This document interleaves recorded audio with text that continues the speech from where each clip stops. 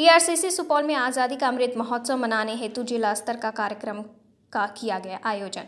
आप देख रहे हैं बीएनपी न्यूज़ में हूँ शहजादी परवीन। डीआरसीसी सुपौल में आज़ादी का अमृत महोत्सव मनाने हेतु जिला स्तर का कार्यक्रम का आयोजन किया गया, जिसमें प्रधानमंत्री नरेंद्र मोदी के द्वारा शिमला से तेरह योजनाओं का वीडियो कॉन्फ्रेंस के माध्यम से राष्ट्रीय स्तर पर प्रसारण किया गया,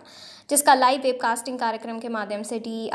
सीसी सभागार में कार्यक्रम का आयोजन किया गया। इस दौरान प्रधानमंत्री आवास योजना, प्रधानमंत्री गरीब कल्याण अन्य योजना, प्रधानमंत्री किसान सम्मान निधि योजना एवं अन्य केंद्र सरकार द्वारा संचालित योजनाओं का लाभ के संबंध में लाभुकों द्वारा सीधा संवाद माननीय प्रधानमंत्री के द्वारा किया गया। इस मौके पर मुख्य अतिथि के रूप में वन पर्यावरण व जलवायु परिवर्तन मंत्री नीरज बबलू शामिल हुए। इस दौरान जिलाधिकारी कौशल कुमार सहित अन्य अधिकारी भी मौजूद रहे। बिहार झारखंड की तमाम छोटी बड़ी खबरों को देखने के लिए हमारे न्यूज़ चैनल को सब्सक्राइब ज़रूर करें।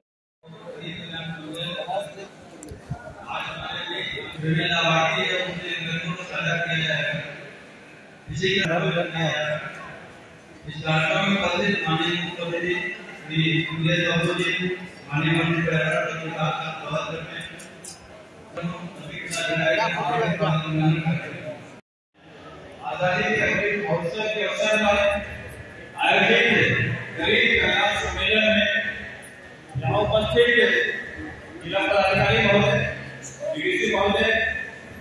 हमारे स्वतंत्रता सेनानी मेहता जी, सभी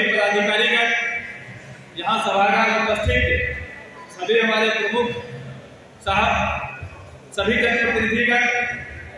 और शहर के सभी सम्मानित देवी और सज्जन।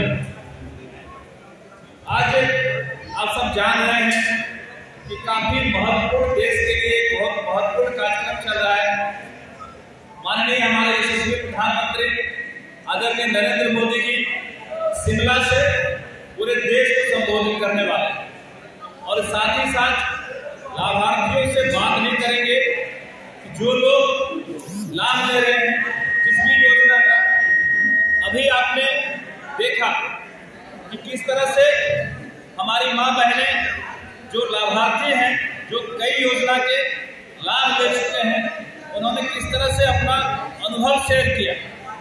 अभी आपने सुना कि जिला पदाधिकारी महोदय एडीसी महोदय ने भी बताया कि तेरह जो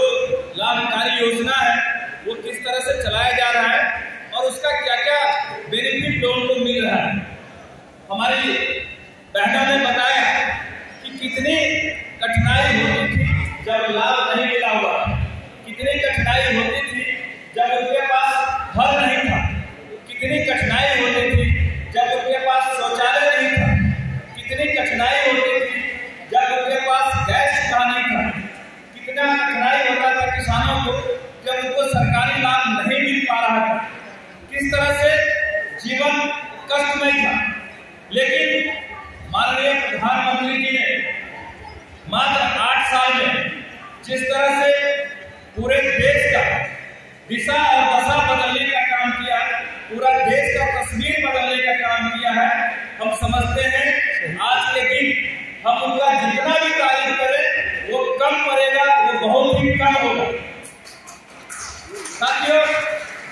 जिस तरह से माननीय प्रधानमंत्री जी हमारे देश का सम्मान बढ़ा रहे हैं,